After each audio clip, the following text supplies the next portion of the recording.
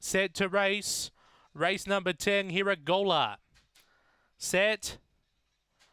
And they're away. Speed from Bionic Blues early, pressing forward Long Gully Tracy. A length away then Sintra with Tintillo. A further length to Bye Bye Blues. Still Harbour, Local Dole, and Agera off the back. Sintra looms up on the outside. Goes to a narrow lead. Kicking back Bionic Blues. A gap into Long Gully Tracy. Sintra, Bionic Blues driving. Bionic Blues, too good. Beaks home Sintra. Third will be Local Dole. Now fourth was either Long Gully Tracy or Tintillo still harbouring behind those with Bye Bye Blues and Agera. One of the last ones in with Tintillo, 23.06 for time.